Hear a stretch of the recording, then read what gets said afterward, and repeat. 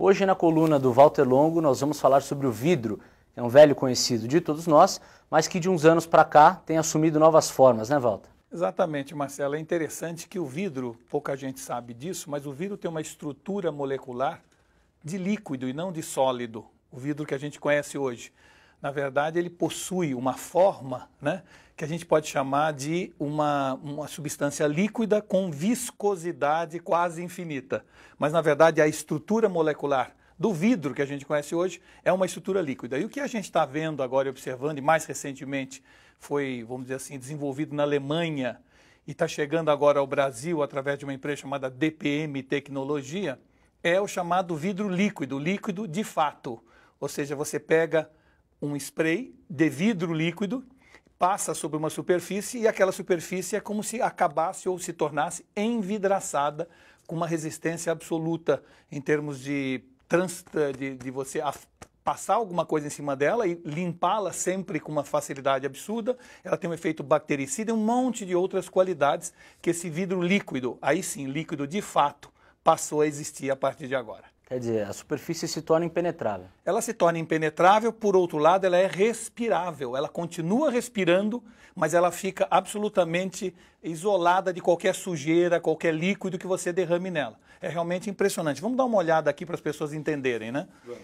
Aqui você tem, por exemplo, um tecido, onde se você jogar uma água, né, evidentemente, ela imediatamente, tá vendo? Ela penetra no tecido e fica o tecido fica azul mais escuro e você percebe que ele, de alguma maneira, uh, penetrou essa água. Quando você coloca numa, numa superfície que foi aplicado um spray de vidro líquido, veja o que acontece.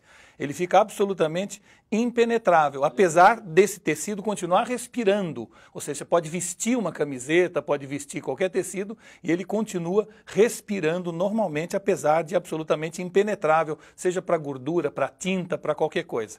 Tá? A mesma coisa, se a gente botar aqui num papel, vamos pegar um papel aqui para mostrar a vocês, olha o que acontece com o papel né? um papel uh, quando você coloca água. E aqui, quando você coloca água, veja o que acontece. A água não penetra, por quê? Porque ela, de certa forma, esse papel foi envidraçado. Tem uma película que, que muito fina, que a gente diz que tem em torno de 100 nanômetros, ou seja, ele é 500 vezes mais fino que o fio do cabelo, essa superfície.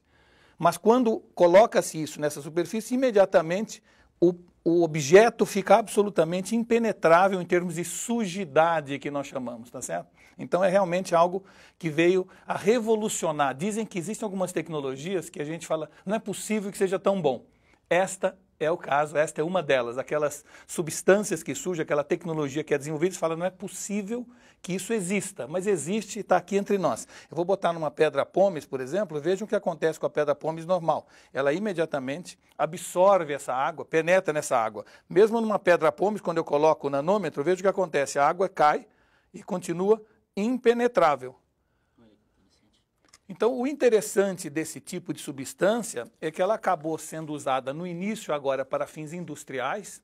Nós estamos vendo vários metrôs do mundo cujo, cujos trens e cujas, e cujas estações estão sendo totalmente revestidas com isso para evitar sujeira. É um efeito que evita pichação. Se você passar isso numa superfície, alguém pichar, basta limpar com um pano. Mas principalmente na área da medicina, para evitar vamos dizer assim, a, o desenvolvimento de bactérias, né? normalmente você tem um enorme sistema de limpeza desses locais. Com a aplicação do vidro líquido, as bactérias não se reproduzem da forma como seria sem o vidro líquido, o que faz então com que essa substância seja muito importante para hospitais, para clínicas onde a cirurgia vai ocorrer e, portanto, a preocupação com bactérias é algo obsessivo. Então, é um produto que realmente tem uma multiplicidade de utilizações.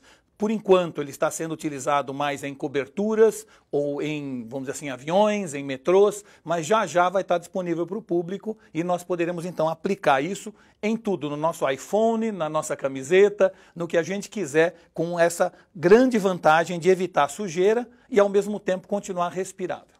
Walter, esse produto ainda é usado em escala industrial e não está disponível ao consumidor. Mas qual é o preço dele? Olha, esse produto foi desenvolvido na Alemanha. No Brasil tem uma empresa, DPM Tecnologia, que está comercializando, distribuindo ele. Mas é um produto que já já vai estar tá entre os consumidores. Agora, é um produto que deve ser muito barato, porque a, a substância, a matéria-prima dele é a areia.